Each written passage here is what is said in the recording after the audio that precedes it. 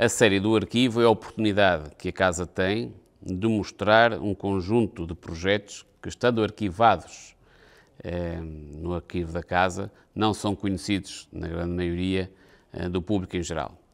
e cerca de 70% do trabalho dos arquitetos nunca chega a ser construído, portanto, a única forma de nós conseguirmos valorizar o, trabalho e a obra do arquiteto é permitirmos que sejam conhecidos esses acervos, eh, esses projetos, para serem investigados e muitas vezes pensarmos também de que forma é que esses projetos, eh, se fossem construídos, poderiam alterar eh, a cidade que hoje vivemos. Neste caso, esta edição do, do arquivo uh, trata sobre Matosinhos e a capacidade que o arquivo tem de mostrar obras não construídas sobre Matosinhos e de refletir um bocadinho sobre este território imaginado, uh, que era o que seria Matosinhos se esses projetos tivessem uh, sido construídos, ou de que maneira, a entender muitas vezes, de que maneira é que estes projetos podiam influenciar a transformação da cidade. E é importante também percebermos,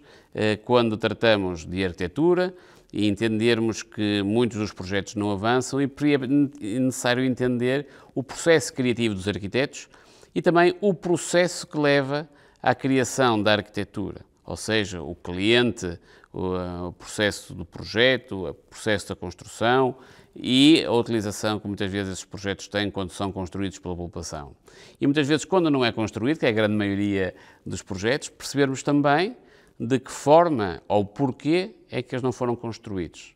Uh, o que é que aconteceu no processo decisório para eles não serem construídos? Se é o mercado a funcionar, se foram opções políticas, se foram op opções, digamos, do projeto, porque naturalmente os arquitetos tendem a fazer uh, projetos para serem construídos para deixarem de ser projetos e passarem a ser arquitetura. E é muito importante que a população entenda um, este processo da tomada de decisão até uh, uh, o momento em que a população toma conta da obra, ou seja, que acaba por vivenciar a obra. E neste processo existem muitos